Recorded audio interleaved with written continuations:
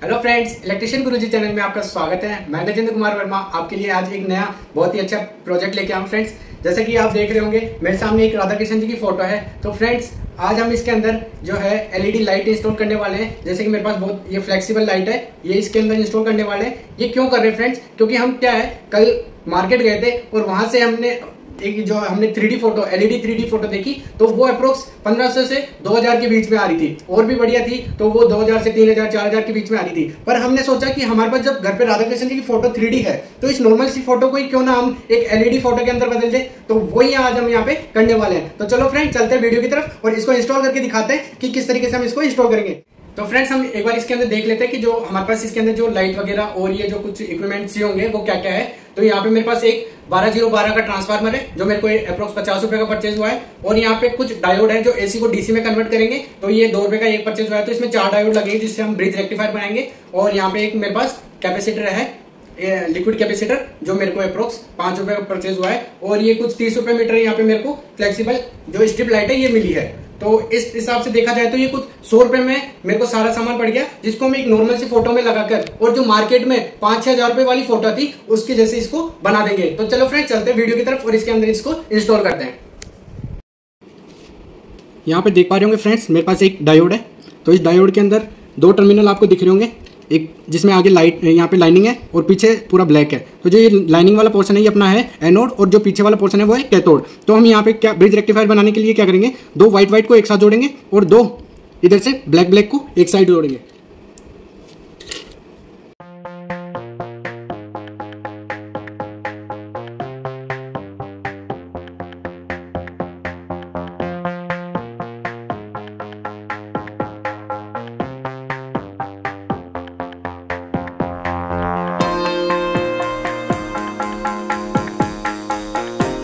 यहाँ पे फ्रेंड्स जो आपको व्हाइट लाइन दिख रही है, ये हमारी हो जाएगी डीसी पॉजिटिव और यहाँ पे जो पीछे दोनों सिरे ब्लैक है, ये हो जाएगी डीसी नेगेटिव और बाकी जो दो सिरे व्हाइट और ब्लैक व्हाइट और ब्लैक बच गए, ये दोनों हो जाएँगे हमारे एसी के लिए 12 वोल्ट एसी के लिए जो हम ट्रांसफार्मर से डायरेक्ट जोड़ेंगे।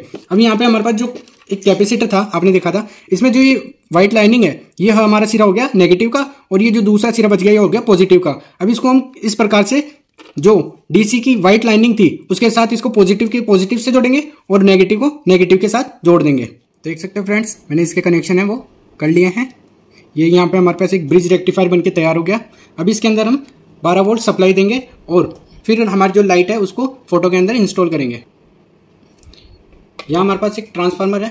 फ्रेंड्स इसमें देख पा रहे होंगे, एक तरफ़ दो टर्मिनल है और एक तरफ़ तीन टर्मिनल है। जिधर दो टर्मिनल है यहाँ पे तो हमारे को 220 सप्लाई देनी है और यहाँ पे आप देख पा रहे होंगे बारह ज़ीरो बारह लिख रहा है यानी कि जो ज़ीरो लिख रहा है बीच वाला वो हमारे पास यहाँ पे न्यूट्रल का काम करेगा और जो साइड वाले हैं वो बारह बारह वोल्टेज के काम करेंगे तो यहाँ पे अगर एक न्यूट्रल और एक बारह के साथ हम यहाँ पे दो तार कनेक्ट करते हैं तो हमारे को यहाँ पे बारह वोल्ट मिलेगी और अगर हम दोनों बारह बारह पे तार कनेक्ट करके और सप्लाई लेते हैं तो यहाँ पे हमारे को अप्रोक्स चौबीस वोल्टेज यहाँ पे मिलेगी तो हम यहाँ पे चौबीस वोल्टेज इससे लेने वाले हैं तो यहाँ पे मैं पहले तो सप्लाई के दो तार जोड़ लेता हूँ यहाँ मैंने सप्लाई के दो तार जोड़ लिए हैं। अब यहाँ पे क्या करेंगे फ्रेंड्स हम जो हमारा ये ब्रिज रेक्टिफायर है, उसको डायरेक्टली यहाँ पे 12 वोल्टेज से कनेक्ट कर देते हैं।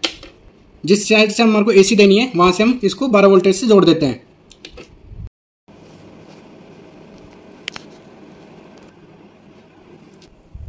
यहाँ पे हमने एक 12 वोल्टेज से जोड़ दिया है। अब दूसरे 12 वोल्टेज से हम यहाँ पे एक और एक्स्ट्रा तार ले लेते हैं, इसको जोड़ते हैं।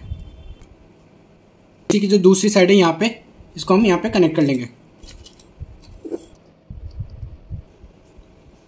इसके कनेक्शन तो फ्रेंड्स हमारे पास हो गए अब यहाँ पे जो दो पॉइंट्स हमारे पास बच रहे हैं, ये डीसी के हैं। तो सबसे पहले हम, हमारे फ़ोटो के अंदर एलईडी लाइट लगा लेते हैं। उसके बाद में इसके अंदर उसके कनेक्शन देंगे।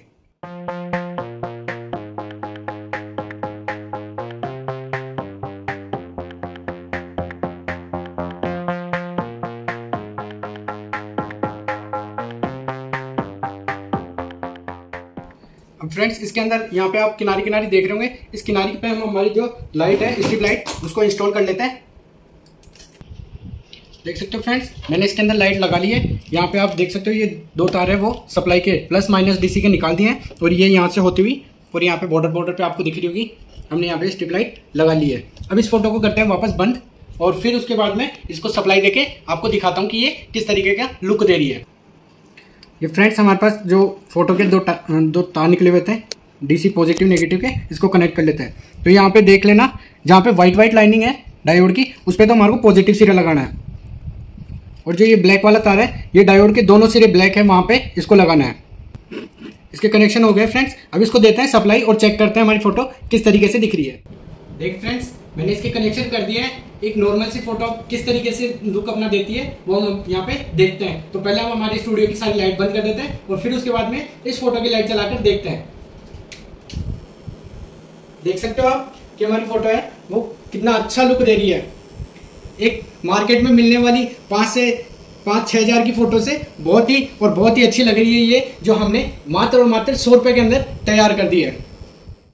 देखा फ्रेंड्स आपने? तो मैंने कैसे नॉर्मल सी फ़ोटो को एलईडी लाइट वाली फ़ोटो बना दी है। तो ये देखने के अंदर बहुत ही आपको अच्छी लग रही होगी। ये मेरे को कमेंट करके आप ज़रूर से ज़रूर बताना।